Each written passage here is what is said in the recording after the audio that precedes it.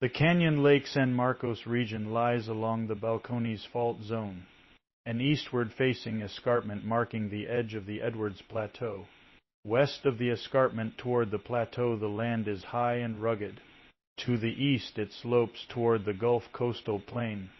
In Hays County, San Marcos area, for example, elevations reach about 1,600 feet above sea level on the plateau ridges vs 555 feet at the San Marcos River exit toward the coastal plain.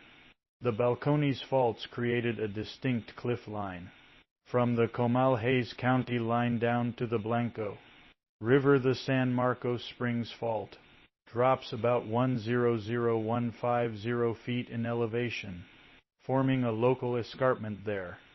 In general, the Edwards limestone outcrop is relatively flat except where streams have cut steep canyons. USGS surveys note that outside the gorges, the Edwards Plateau side has only gentle relief, whereas riverbeds cut narrow, precipitous gorges through the hard limestone. The rock strata reflect this structure. Cretaceous Edwards and Glen Rose limestone dominate the uplands with younger chalks and marls Navarro group on the downthrown side, so that creeks often cascade down the escarpment.